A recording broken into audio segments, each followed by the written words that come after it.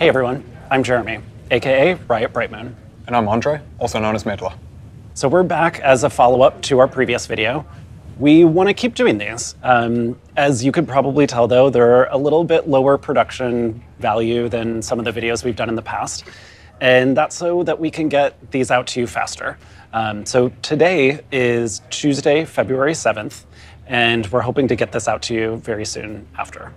Now, of course, anything that happens after that, it's the future for us. We can't talk about it. It hasn't happened. So we're going to talk about the things we can talk about. in terms of what we'll actually cover in these videos, we're going to cover a wide range of topics, we think. We're not going to touch much, though, on balance or the state of the meta. Not because we don't think those things are important, but because we think we've got a lot of other channels that can cover those quicker and in more detail than, than these can. Now, in terms of who you'll see in the videos, it's probably also not going to always be Jeremy and I. In the future, we're going to get a range of people and also talk about topics that they're the experts in. Before we go into our regular stuff, um, do want to note we're a couple of weeks out from the security breach we talked to you folks about. We're mainly up and running again, but we're still dealing with a few wobbles and rebuilding a few things internally. So thank you for the patience on the disruption that's created. So let's start with our first topic, new champions and champion updates. Now, over the years on League of Legends, we've had varying levels of focus on, you know, creating new champions or updating older champions, and we reassess that level of investment every year. Um, that helps us build out our roadmaps. So, one of the things that we have always committed to, though, is making sure that every champion, whether it's a new one or an old one, is really high quality and provides an evergreen experience for players, even you know small niche champions. And so, as part of that, we're investing more in ASUs. These are the art and sustainability updates. So, we've done Caitlyn and we've done Ahri, and we're trying to get faster at it. So, we're actually doing two right now, working on them both at the same time. And those two champions that are getting an ASU right now are Lee Sin and Teemo. In addition to putting a bit more focus on ASUs, we've also had some folks from the new champions team jump over to help out with the game modes team. The result of that is that we should have some meaningfully faster progress on you know, building new game modes and getting old game modes back in 2023. Mm-hmm. The trade off, though, is that we'll also have fewer new champions in 2024. Let's also talk a little bit about champion pricing, particularly how it affects new and returning players. League of Legends has been around for a while as a game, and we hope it thrives for many years to come. We want to do our damnedest to make sure that happens. But games like League tend to get more complex, harder to get into as, as they go along, as, as they get more content. And one thing we've particularly noticed is that new players who find a champion they really love are much more likely to stick with the game.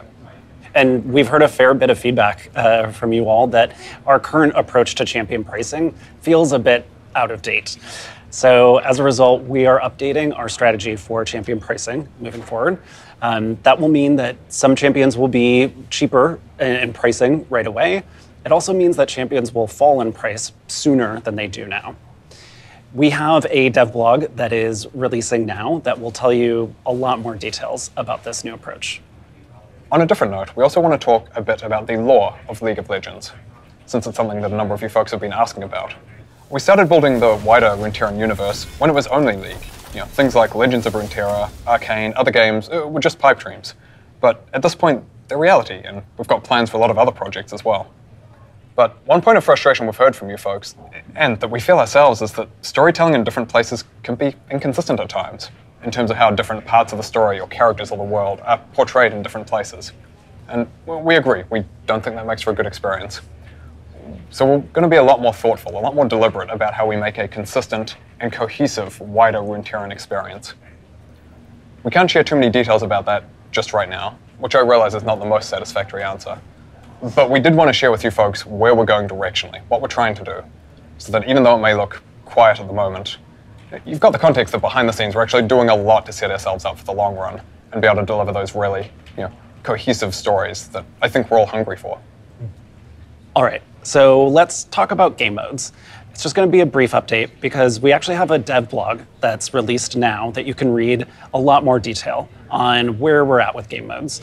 Uh, two things I want to draw your attention to, though, right now is in that blog, we talk about preseason ARAM changes what you liked, what you didn't like, uh, and by and large, the feedback has been really positive, with the exception of Tower Rubble. So we're going to be working on that. The second thing to draw your attention to is the 2v2, v2, v2, 2v, 2v2, v2, v2. v2 mode uh, that is still underway. And um, the blog goes into more detail about the gameplay and, and sort of where things are at. And so I hope you check it out. Something else we also wanted to talk about was moving some skins and splash art over from Wild Rift to League of Legends PC. We think there's a lot of cool stuff and a lot of opportunity there. We're going to start by looking at porting over some of the most commonly requested skins with Star Guardian Seraphine. Redeemed, Xayah, and Rakan. And hopefully more in the future, depending on how those go. Now, the two games are pretty different under the hood, so we don't yet have a complete handle on exactly what will be needed to do that and the timelines and so on. So we'll keep you folks in the loop, don't have an exact timeline yet.